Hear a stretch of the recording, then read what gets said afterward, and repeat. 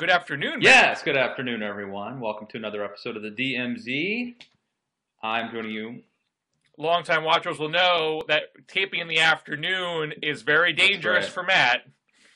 Not at his peak energy level. You are Low you are energy low at this time of day. at yeah. this time of day. Um, This could be a very Jeb-like uh, episode we of will. the Uh, we will survive. We will survive. Yeah, it's nap time, and and I'm also operating on, on not much sleep since I was uh, in New York for CNN last night and up very late and uh, up early to fly back. So, um, Media Matters. This is your this is your chance. See what gaps are committed.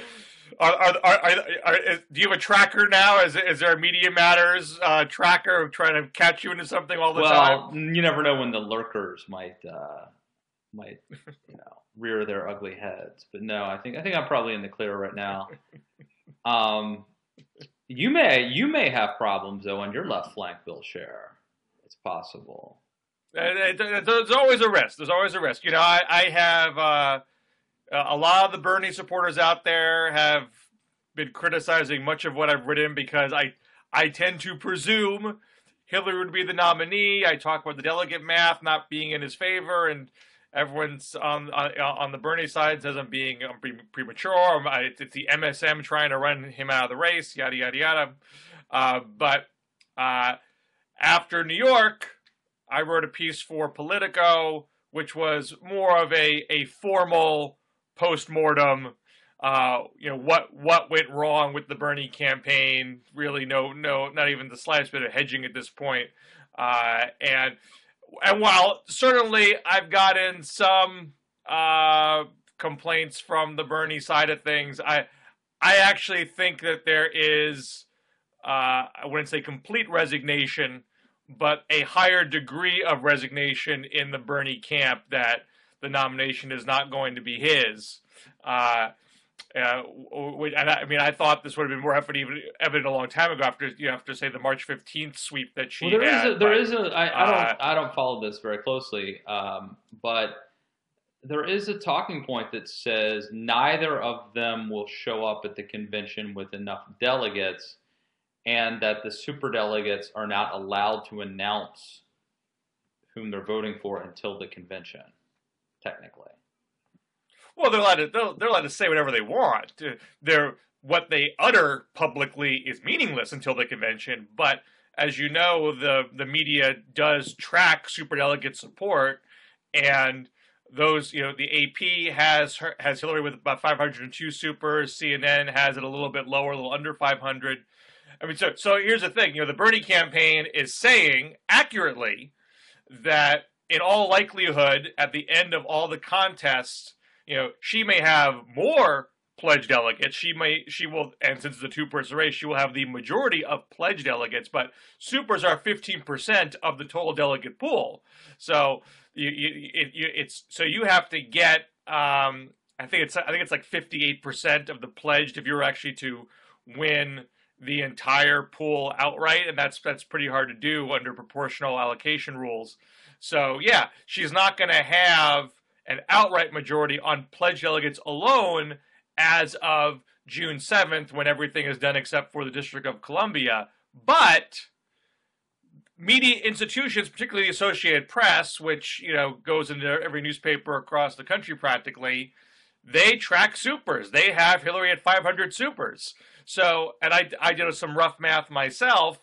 Uh, you know, in all likelihood, you know, assuming she, if you, you give her half the remaining delegates, which I think is a pretty uh, safe presumption, those 500 supers put her over the top as of June 7th. Well, what's funny? Uh, so, uh, so you, you will you will see headlines on June 8th or the night of June 7th that say Hillary clinches on that- that, is that- basis. and the Bernie people are saying we're still going to contest anyway. Yeah, and it- this And this it- remi- the interesting thing is how, how Trump has started saying, you know, I, I, every that Bernie wins all the time. He's all he does is win, and yet he can't, you know, he can't catch up. This is before New York, but I mean, that does strike me as a little. I mean, you could argue that that's unfair what they're doing.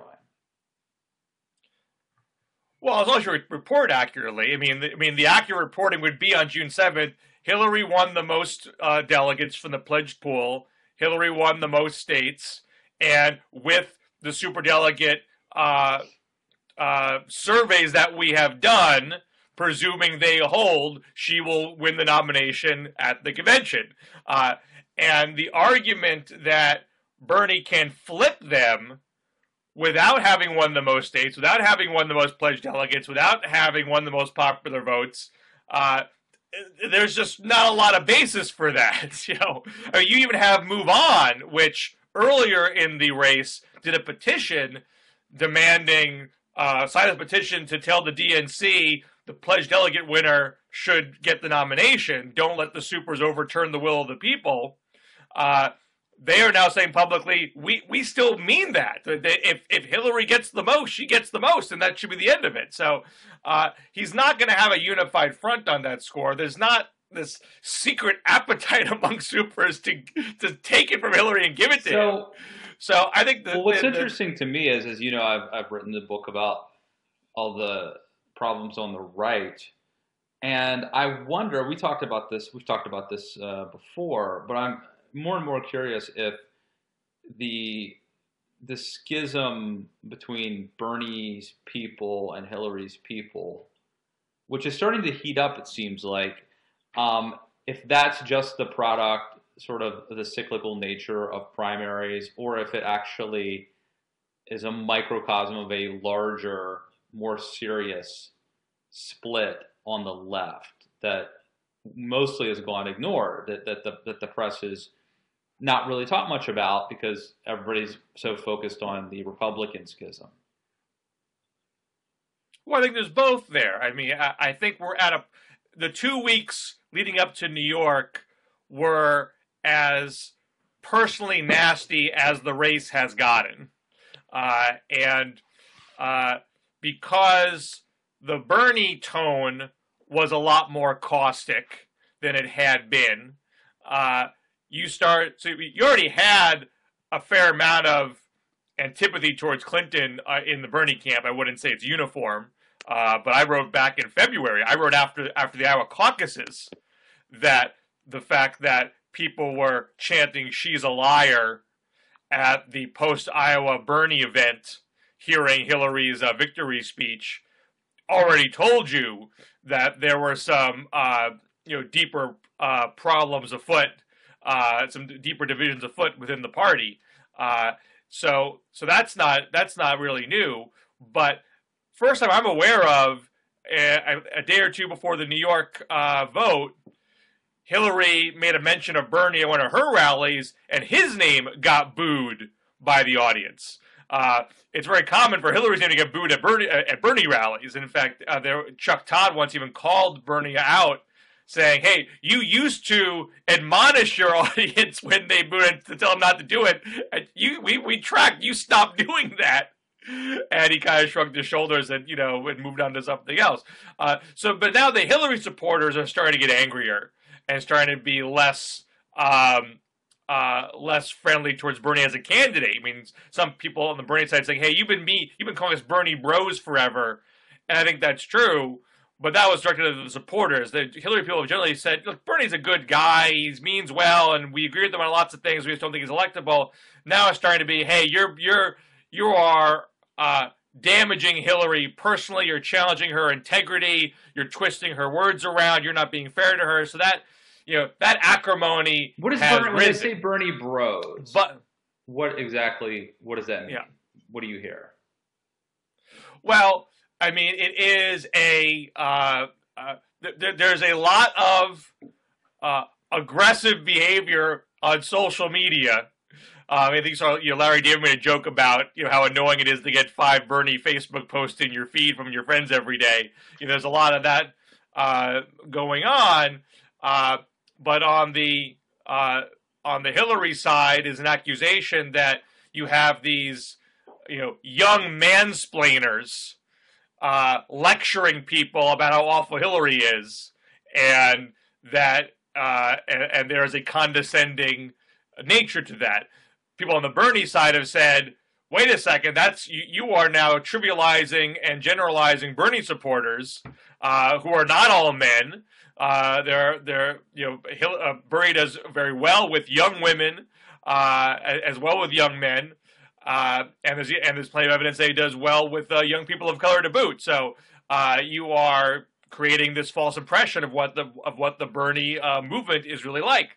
So that's been out there you know for a while. But now the acrimony, uh, the finger points become between the two candidates themselves. So I think the question going forward is: Is this like 2008, where it was very similar, and the candidates are very caustic, and the supporters were very nasty online, but they got they they reunited at the end of the day, and they won the general election very handily? Uh, or is this a deeper ideological schism that poses mm-hmm. problems in the future. And I think I think it's more like that yeah, than well, 2008. I think I, I, think it might um, be that America is undergoing a major change, and Barack Obama masked that on the Democratic side. So he basically postponed having to deal with that. Um, but well, I don't. I wouldn't call it a mask because a lot has to do with Obama. Um, there was a sense, you know, I mean, there, there, there is a Rorschach on the Democratic side. What has the eight years of, of Obama meant? And the, the the positive take is that this was this was a great presidency. We got lots of big things done. Um, we uh, we we were able to do Obamacare, the Recovery Act, and Dodd Frank, and the the economy turned around, and jobs are growing, and uh, there's a lot there's there's more work to do, but we have a good foundation to build to build from. And the and the the negative take is is that this is all woefully insufficient. The economy is still terrible. Wages are still stagnant, and a big part of the problem is the Democrats are too wedded to uh, big corporate donations uh, and too uh, obsessed with trying to uh, work with the other side in Congress and not propose bigger ideas and and press Congress to do bigger things. Uh, so that divide is a real divide, and so I, I, don't. So I don't think it's necessarily what's being masked from eight years ago. It's just how do you interpret what has just happened, and that's not going to be uh, healed. Is it fair to say that the uh, Bernie people are more inclined to say that the last eight years have been disappointing, and that the Hillary people are more likely to to say that the last eight years have been awesome.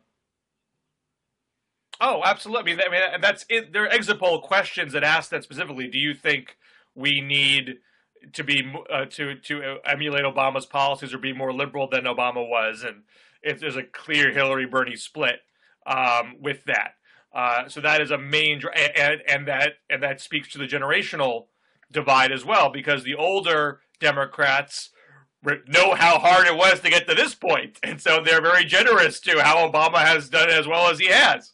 And the younger voters um, uh, look at history and say this is all oh, terrible, and uh, we don't accept that uh, well, this is as good as me, we can do. We think we can do even better. It strikes me as really surprising that young that young liberals wouldn't love Obama. Like they, you know, he was Bernie in a way. I mean, I know Bernie thought about about challenging him at some point, but I mean, if you're young, if you're a young idealistic progressive, shouldn't Barack Obama be like a god to you? Well, I, I you know what I think is correct, and I'm and I'm not alone in this is the the 2008 crash was a scarring experience for millennials. This is their first big political event that shapes their views. This is, you know, akin to Vietnam in the 60s. It's a radicalizing event. Uh, and just like in the 60s, that radicalizing event drove young people to Eugene McCarthy, uh, which was a great piece in Politico today by, by, by Julian uh, uh, Zelizer um, about how the McCarthy folks were so angry that uh, the Democratic Party establishment gave the nomination to Hubert Humphrey, even though Humphrey didn't even compete in the primaries, and McCarthy wouldn't endorse uh, coming out of the convention, and and and and arguably depressed the Democratic vote in '68. Uh, and then uh, those voters went to George McGovern in '72, and McGovern got that nomination with a with a very small. Uh, like he lost the popular vote to Hubert Humphrey in '72 by a little bit. He, uh, it was only 25% of the popular vote that that McGovern got. Uh, but they were so angry about what happened in '68 and angry about uh, about the war, and Humphrey was tied to Lyndon Johnson, even though Humphrey was quite quite liberal. Uh, didn't want to didn't want to. I mean, here's like you know, Hubert Humphrey, the guy who single handedly made the Democratic Party a civil rights party in 1948, meant nothing to those younger voters because they were so angry about Vietnam, and and Humphrey being Johnson's VP was charged with it. So Obama, uh, you know, it, looked upon as someone who's going to turn things around, and you know. And does something like Dodd Frank, which regulates Wall Street but doesn't break up Wall Street. Uh, he stops the bleeding of the recession, but he doesn't do $15 minimum wage. Uh, he, he does Obamacare, but that keeps the private insurance companies still in business, doesn't do Medicare for all. So all those things are not impressive to a generation that has been radicalized on economic issues, at least as of this moment. So uh, I don't think that gets immediately solved in the next six months. Now, I don't know. I don't think that means that uh, it's 68 redux and none of these Bernie supporters vote for Hillary at the end of the day. The polling right now doesn't suggest that, and usually these passions cool to some degree between the peak of the primary season explain and the general election. Why, explain uh, to me why I would say Vietnam was the analogy, and in the yeah. um, 60s and you know late 60s, early 70s, um, you know you you had a potential to be to be drafted uh, the, you know, there was all sorts of turmoil. You had the civil rights stuff happening. Um, why would the the recession, the Great Recession, be so impactful on these young people as to radicalize them to this degree? Was it because they had been sort of promised something, expectations that they would graduate from college, everybody gets a participation trophy and things are going to be easy? why was that so such a big? I mean, we've been through economic downturns before. There was one in nineteen in the early 1990s. There was one in the early 1980s. Why was this one? But the, both, but both of those, both of those recessions were brief. And even still, I mean, you know, the 81 recession led to a bad midterm for Republicans in 82. And the 91 recession, even though it was effectively over by 92, it was still, the effects were kind of lingering and it still, you know, denied George H.W. Yeah, Bush fair point. And he had, had, he had had but, high, you know, sky high approval ratings. Um, but I don't know that there was but this movement is, this is a, to the degree. That, that seemed to be more of um, voters reacting organically as opposed to an or, sort of a more organized thing. Right. Well, th- this is a different kind of recession. It's a financial crisis recession, which historically have much longer recovery times.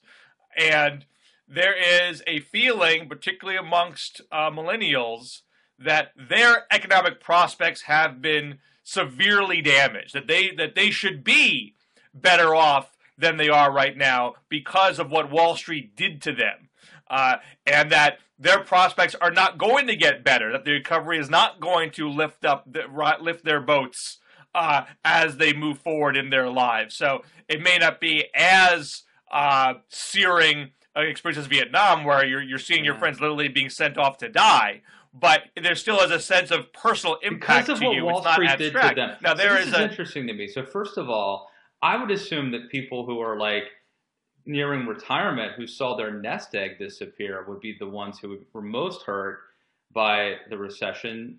Um, the other thing too is the whole like well, the, well, the market's Wall recovered Street though. Did to me like I've lived my entire life assuming that the the game is rigged and people are out to get you and you have to just find a way to to like survive and to and to thrive despite all of that. You know what I mean? It, it's interesting to me. Now there's a, there's another argument. It's not it, it's not uh, as often articulated.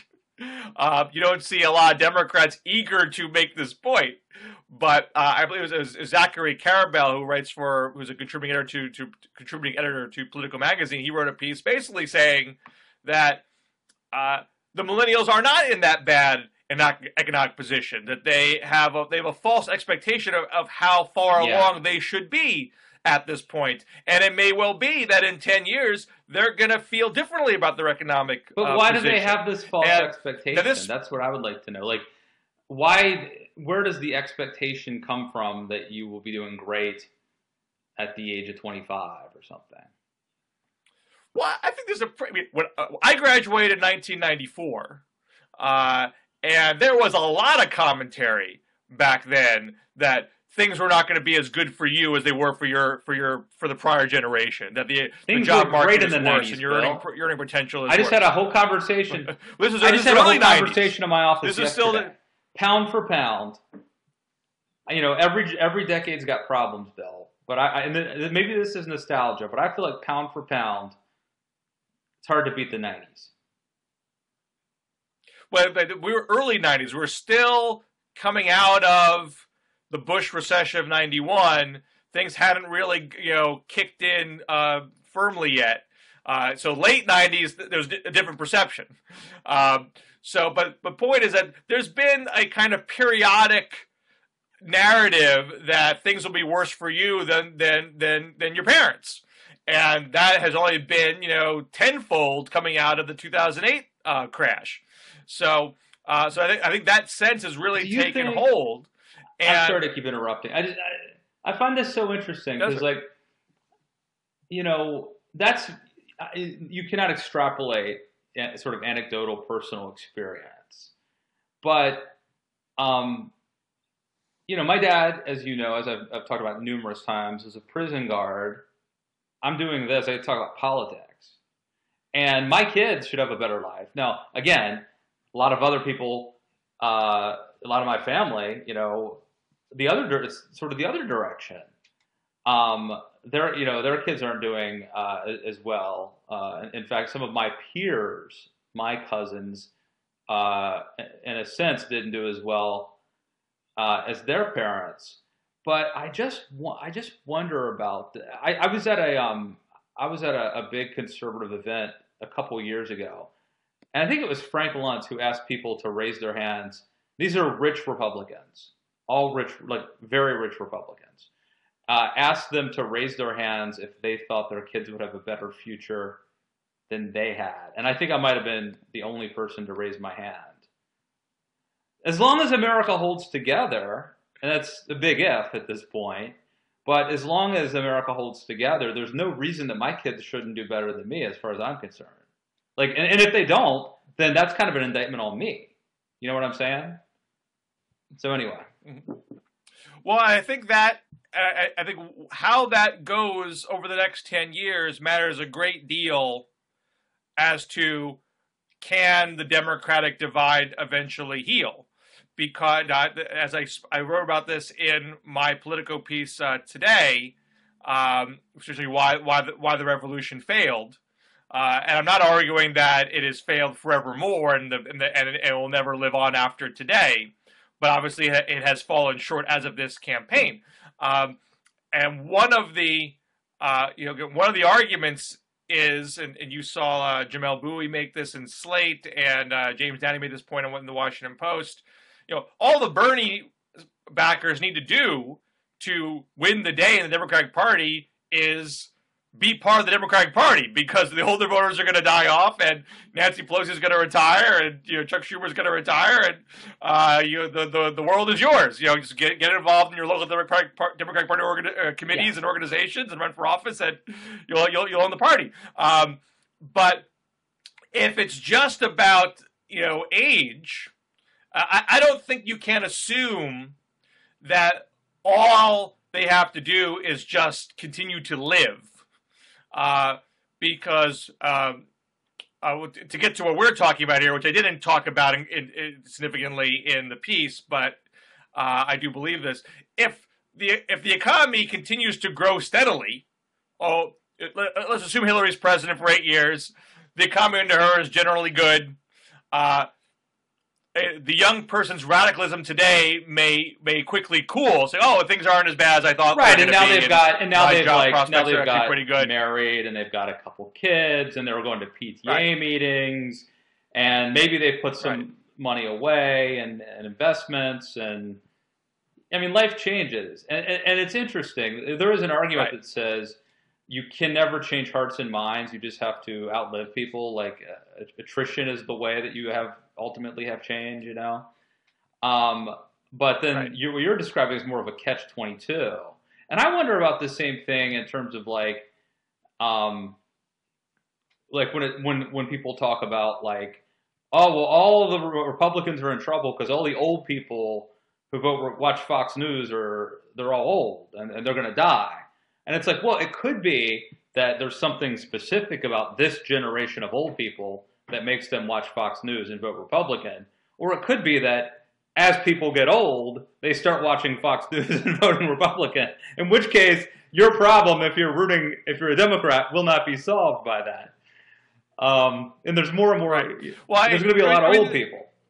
No, I mean there's, I mean there's, I think there's evidence that you know people you know can get more moderate as they get older. There's also evidence that people stick with their party as they get older. That you you you you you achieve Yeah. party loyalty at an early By age. the way, like, there's some weird Uh, stuff going on too. With um, uh, about a year ago, I remember I was listening to um, I think Kath, I think it was Kathy Griffin was on like Marc Maron's show.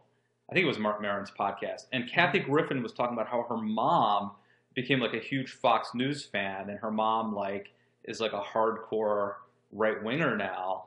And I was just listening to this podcast with uh, Hanna Rosin. Is that her name? Anyway, um, she yeah, Slate Slate. podcast. And um, her mom, who I think is New York Jewish liberal, is a huge Trump supporter at this point. So um, it is interesting how that can sometimes happen, and, and Trump is tapping I into mean, some. there, are- there, there are anecdotal things like that, but we don't see in the polling that those are that these are massive shifts going This on. could just be like anecdotal. I don't know, but Yeah. but keep your Well, I, I, I know we talked a lot about about my piece and Bernie, but I do want to just Yeah, make a couple of yeah. points about the piece before we shift to the Republican side because uh, I do think it's important if you're a Bernie supporter. I mean, even if you don't, if you don't like the fact that I'm talking about uh, the campaign being essentially over, you you want the revolution to persevere. You want there to be a light life beyond this campaign. So I think it's worth having a clinical look what went right and what went wrong. And obviously, the, the things that went right. You know, he he he won 16 states out of 35 so far. Uh, he he polls competitively with with Hillary nationally. He he's polling ahead of all the Republican candidates, and I think probably more importantly for the the policy goals, he moved Hillary on trade, on minimum wage, um, to some degree on Wall Street, uh, to some degree on fracking, uh, and uh, and so you can there there are a lot of moral victories to be said about what he has accomplished. I mean, just even just legitimizing you can be a Democratic socialist and not be laughed out of town in and of itself is an accomplishment. Um, but there is a a uh, predictable obstacle for the ideological crusader to get over the hump and actually win, uh, and that is answering the question: Is what you're proposing uh, practical and feasible? I mean, is, is is it practical on a policy basis, and is it feasible on a political basis? And as much as he convinced younger voters that it was, he did not do very well convincing older voters that it was. And the worst example of this was the Daily News interview, which I know the Bernie people still feel was a bit of an ambush. But and and there's commentary out there. You know, there's been a wonk war that's gone on between Clinton-friendly wonks and Bernie-friendly wonks, which I would argue Bernie lost. I mean, he has his defenders, of course, but at the end of the day, he didn't convince enough people that he had the policy depth and the political savvy to execute what he was proposing, and that's why he couldn't break through in Hillary uh, friendly turf. Uh, so I, I don't think that's a problem that gets solved with time. I think you actually have to think through. I mean, you, you could say there are there were ways to explain what Bernie did at the Daily Mhm. News interview, but it's incumbent upon him to fill in the blanks. It's not incumbent upon his defenders to fill in the blanks. You have to prove you've thought through this backwards and forwards and have a, and and have thought through the contingencies and not just wave them off as as being uh, as cheap shots. The contingencies both both on the policy. where and do you come down on the where do you come Uh, down on the question of was did Bernie create this? Is this a Bernie phenomenon, or is this he just the vessel that people are using? I would I would lean more towards him being a vessel. Um, I mean, I think he. I mean, he, the reason why I did not expect this to go as well as it did was that I did not foresee the under thirty crowd breaking that, that dramatically his way and, and, and underestimating how radicalized they had become on these issues. Uh, but I think that shows that anybody articulating that kind of message was going to win those votes. I don't think there. I mean, there are certain things that Bernie did well. Um, his message discipline is is fantastic. For example, uh, so he didn't do goofy things like Dennis Kucinich did, like start talking about UFOs that might have made him seem like a less credible candidate. So uh, he gets some personal credit on that score. I think his I think his team had a smart rollout strategy, organizing these large rallies early to establish his uh, his potential. Uh, and I think he also hired a good enough team of people that knew how to put together the online operation. They've made great advancements in um, uh, creating a system where people could uh, could freelance volunteer and organize on their own and actually connect with other Bernie people in their areas and and and create synergies through that. But those are that didn't come out of Bernie's head. Bernie is not a technological marvel. Well, neither was neither was Howard. What. Bernie likes to do, right, right. But Bernie, what he wanted to do in this campaign was give his one-hour speech that he has been honing for his decades in political life and show that his speech had resonance in the country. And uh, if you want to win an election, you need you can't be that rigid. You know, message message message discipline is good, but you got to be a little agile at times too, and that's not his thing. I mean, so I think he showed his message has a degree of of resonance, certainly with younger voters, but couldn't break through with older voters and couldn't break through in bigger primary states. So, uh, so that, that's where I feel like uh, you, can't look at this and just say it's all it, it's it's all just going to flow from here. Uh, there's more you need, you need, to do to build upon what he has done if you want this to, to go further. In so uh, TMZ and Hollywood Reporter say that Prince, the legendary artist known as Prince, is dead. Legendary what? artist Prince you found dead you at 57. You, you cannot you cannot tell me that in the middle of a DMZ. What are you well, talking about? You know, usually they're right. Hopefully they're not. But um, that's what I'm seeing on the internets. And uh, of course, the Charlie Charlie Murphy uh, true true uh, Hollywood stories will be, uh, if this is true, will certainly be remembered as well as a great catalog, uh, and a, and a couple, at least one one uh, pretty successful movie. So uh, anyway, sorry, uh, sorry to drop that on you. So I I, I, I need to tell is your, my is wife. your wife a big Prince fan? Yeah, He's oh yeah. super talented musician, man. No doubt about that. Super talented musician. I, I got to see him live once. Did you really? uh, with my wife. I did in in, in, in Philadelphia. Fantastic show. I I um uh, I'm, I'm gonna have to keep it together for DMZ purposes. six but uh, yeah, Page six. Uh, Prince dies at 57. that is uh, that, that, that, That's that's not right. That's just not right. Um, I'm, gonna, well, I'm gonna try to yeah, bring it back geez. now. All right. Um, let's uh, let's let's go to the Republican side here. Um, so coming off of Wisconsin, uh, Cruz. Uh, when Cruz won, people thought, okay, Trump is really on his heels. Um, clearly, the, you know, the the roof is caving in. He can't break out. He, he can't break fifty percent in any of these states. Um, he's going to come short of a majority of delegates, and Cruz is winning these these delegate battles at the state convention level. So things aren't looking good. You come into New York, he proudly sweeps the delegates. Cruz comes in third place with a whole lot of Northeast states coming up next week. Uh, there's still a big question whether Trump can get to an outright majority, and uh, and you know uh, Nate Cohn has a good breakdown of this at, at the New York Times, and 538 then has a good delegate delegate calculator for this too. Uh, I mean, he really has to sweep New York and win Indiana and do extremely well in California uh, if he was to get an outright majority. But even if he just does very well in the Northeast and he doesn't win Indiana and he does okay in California, he's still it, it and I would think likely to be within hundred delegates. Um, still and still, you know, not not it's not like his momentum just completely mm-hmm. peters out by. And then the question June. is, can he can he get so, enough, you know, on the first ballot?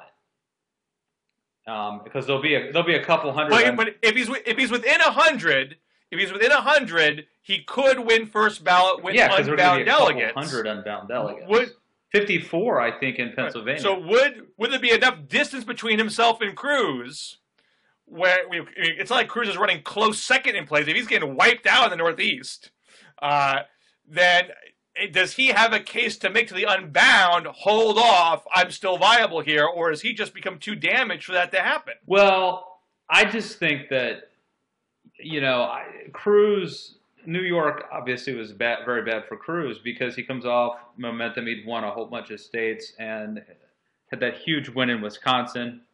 And everybody knew that Trump was going to win New York. But, you know, if Cruz comes in second, picks up a dozen delegates or whatever, uh, wins a few congressional, a couple congressional districts or something, uh, then I think, you know, he is he would have like sort of cemented himself as a strong – uh, as the as the strong sort of anti-Trump alternative. But he didn't do that, and it just I I think that it will go to a convention, but it's harder to deny tr- Trump the nomination um, if Cruz doesn't appear to have momentum and to be strong. Now, of course, you know Cruz has to endure a couple of bad weeks, and then theoretically he can win like Nebraska and Indiana and do well in California. And this New York might all be forgotten. You just say, oh, it's Trump's home state. You know, wow, he he won his home state. Big big whoop. Um, but you know, but it's certainly not a good week for Ted Cruz. Uh, the interesting thing as well is is will is is Trump. You know, it's unclear whether or not Trump is. Um, is going to sort of moderate his message, uh, if he can stick to it, and and if Paul Manafort and um, Rick Wiley, the the new operatives, the sort of seasoned veteran political operatives that now are working for Trump, if they will be able to um, start, you know, doing a better job of working with delegates, and, and certainly, you know, um, there will be horse trading. If, if Trump is within, you know, 100 delegates, um, you know, there there will be horse trading, and, and, and having those guys on the floor cutting deals could be the difference, you know, between Trump winning on a first ballot or not. Because I think we all sort of assume Trump has to win on the first ballot. He has to win before the convention or on the first ballot. Otherwise, Cruz would probably win on the second or third ballot. If it goes beyond that, then I think there is still the slim possibility of, of the so-called white knight emerging.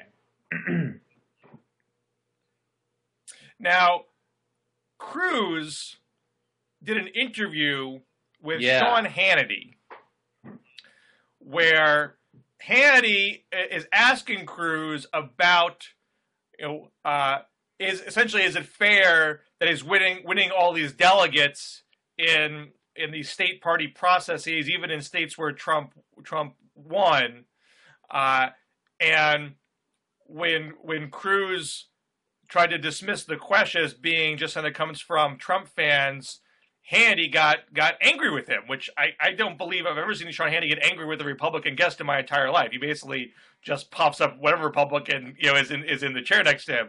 Uh, but he scolded Cruz and saying this is not coming just from Trump people. I'm on 550 radio stations. I'm, i have millions of followers on social media. I hear this all the time. It's confusing to people. You know, why can't you just answer the question and explain this?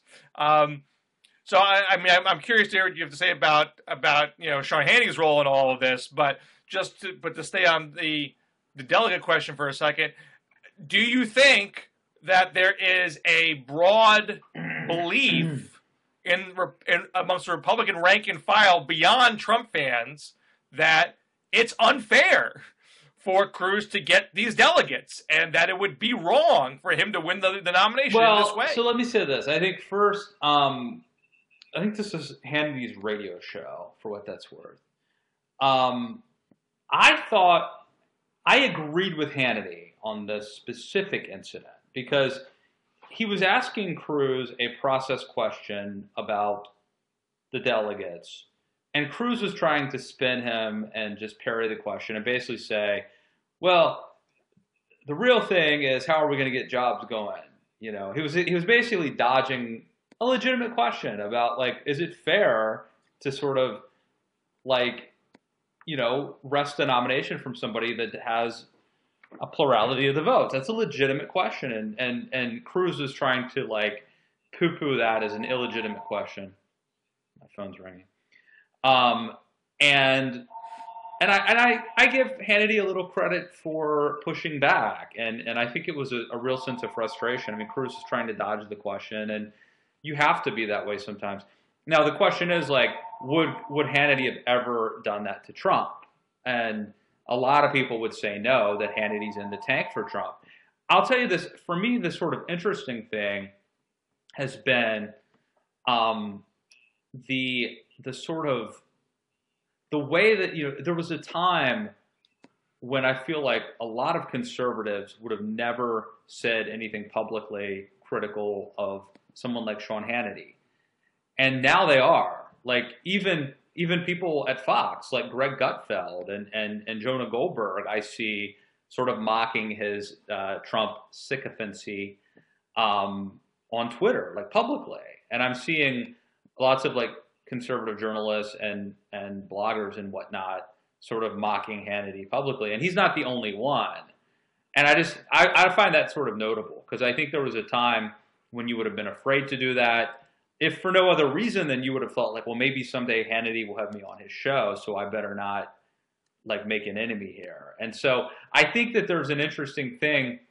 This happens like in sports. Like for a long time, people were afraid of Tiger Woods, and and there's a psychological benefit. But like once all of a sudden that people see like a, a, a chink in the armor, um, then then you sort of have a permission structure to go after somebody. And I feel like um, this is just another example of how the um, you know there there are like nobody's safe. Nobody um, nobody has like the the um, the, you know the imprimatur and and and the um, like nobody's beyond. There's nobody too big to mock anymore. Um, and and maybe that's a good thing. I don't know, but it struck me as it strikes me as interesting because I, I do not think so many people would have done that in the past. So do you do you think that it, it, is it necessary for Cruz to win this spin war about the delegates before the convention starts. If he loses the spin war, if if if I mean Trump is making, and I, I, mean, I think we talked about this a little bit on the last show, but if Trump is making the argument that this is rigged, you know, at full blast yeah. for two months, and and Cruz can't make his case without getting smacked down by conservative talk radio show hosts how do you convince the unbound delegates to break? So I think there's like two different things happening here. In this case, I do want to defend Sean. I, I do want to defend Sean Hannity because he was not.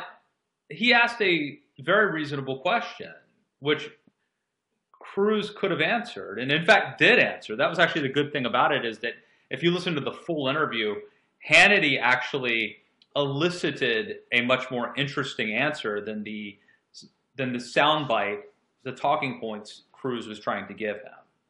And it was a legitimate question.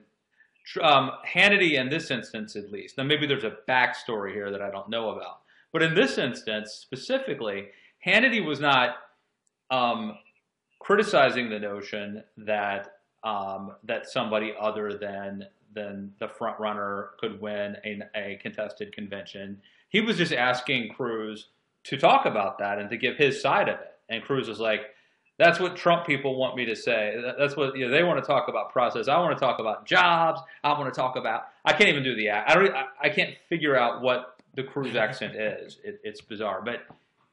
It, it, has to be kind of whiny and smarmy. I don't know. It's sort of like aristocratic, but also southern, and also like televangelist. But I, I can't.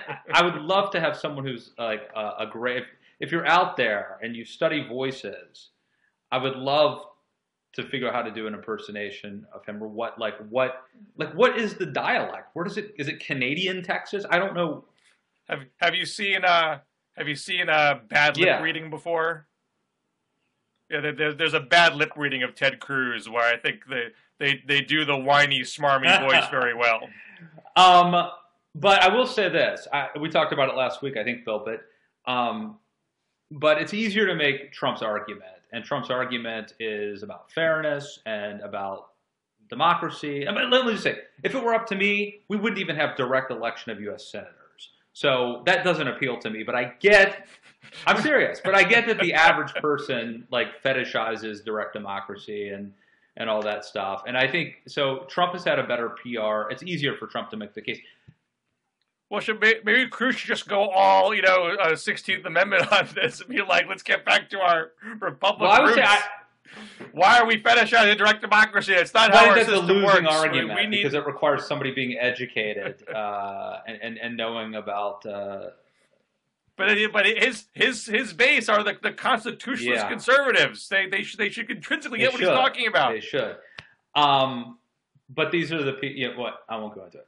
Um, but I will say this: I heard last night on Anderson Cooper an interview with uh, Sean Spicer from the RNC, who did. I'm, I'm thinking going to blog about this today. Actually, he did the best job I've heard of anybody in the Republican Party so far doing to explain their side of it. And he, it's not surprising to regular DMZ listeners that I like the fact that he used the football analogy, which is you don't, we don't give you a touchdown if you get close. Like if you get to the two yard line, we don't give you five points. You know what I mean? Or like, like you've got, you've got to go in the end zone to get, so to get a touchdown. And so the number isn't 1200 or 11, it, it's it's 1237, right? And like if Trump gets to 1237, then he will have gotten in the end zone and he will be the nominee. And if he doesn't, then somebody somebody will eventually get to 1237.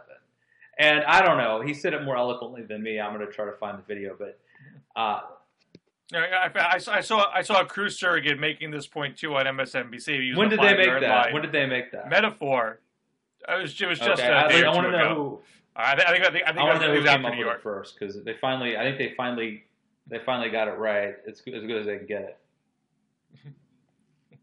but I think in the course of her doing that, you know, he, she, she talked about how Trump has not won 50% of the votes, then the obvious comeback is, well, you've won less. Right. So why? You are even, you're even farther from the five yard yeah, line as he is. About, so it's not why about votes, the, it's about delegates, and whoever gets 1237 delegates. Well, you're basically arguing that Trump's on the five yard line, you're on the 40 yard line, play should be frozen, and a bunch of referees you could get to pick you up off the 40 yard line and carry you over into the end zone. see the analogy slightly different. Well, everyone gets to stop and stare. how about this? How about this? The game goes into overtime. You know, it, it's it's it's it's it's a tie game. Well, I mean, it's a tie game until he gets into the end zone. That's that's the analogy. Well, you know, you know, my view on this is well, before I, I think the, the the legitimate argument to make is that no one got in the end zone. Like we gotta we need a substitution. We need someone who, who, who hasn't played Bring the game back, yet and lost. quarterback. Uh, Jack Kemp when you need him. Right. But if you can't, if, if the white knight scenario is not allowed, I mean, you you you already have Paul Ryan who discounted the idea as being illegitimate, and now there's a question: Will the rules yeah, allow it? And if, if you if the if the if the old rule stays in place, and it's not it's not it's a, it's not a long-standing rule, it's a rule just made for 2012 that you have to have majority of delegates in eight states to even be nominated. the convention can yeah, change that. I don't know how you can change that. The Cruz Right. and Trump delegates will have to choose to change it. Neither side Exactly. might want to do that. I don't think they can change it because how do you change it if if if if Trump and Cruz both want the rule to stay? I don't know how you can change it.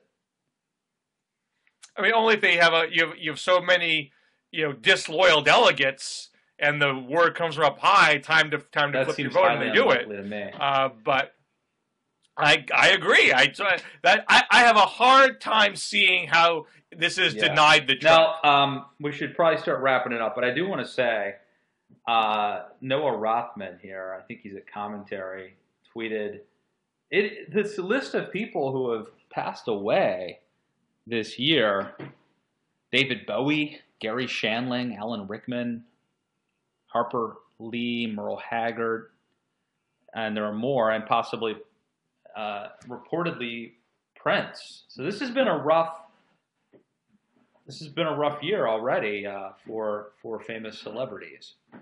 So yeah, It's not right. It's not right.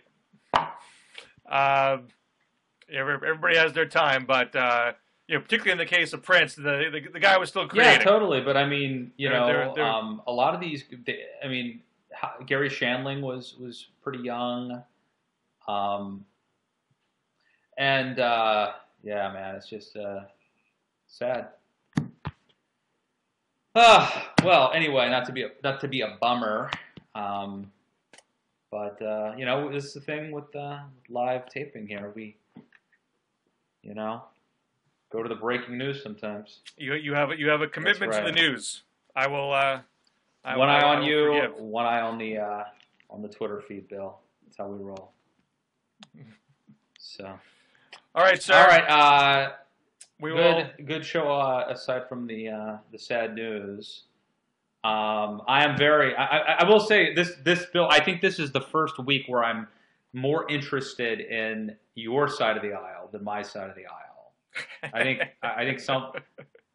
Well, it, it's it, is it exciting that perhaps you're not the only party that is about to disintegrate? Yes, it actually is. It's uh,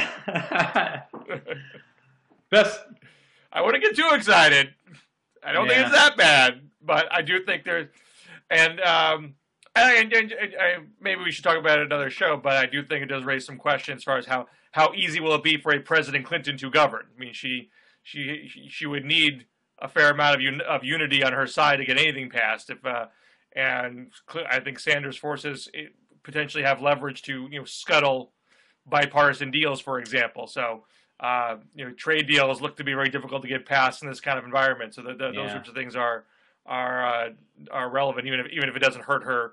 Uh, I did want to plug the podcast real quick. My Matt Lewis and the News podcast. Right. Uh, we just had Ron Fournier on, at our, uh, talking about his book, uh, Ah. "Love That Boy," and um, I'm supposed to talk to Ken Cuccinelli tomorrow about stuff, including uh, right on crime. But he is one of the top Ted Cruz delegate hunters.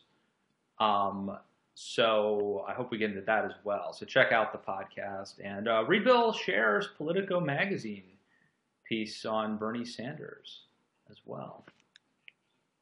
And uh, also see my Real Clear Politics piece from Monday. No, our primaries are not I like rigged. that. Um, I'm, I think I'm gonna have to bookmark that one. Maybe we have to send that one out to the uh, RNC as well. All right, buddy. Yeah. Good show. Um, same All here. right. I will talk to you next week.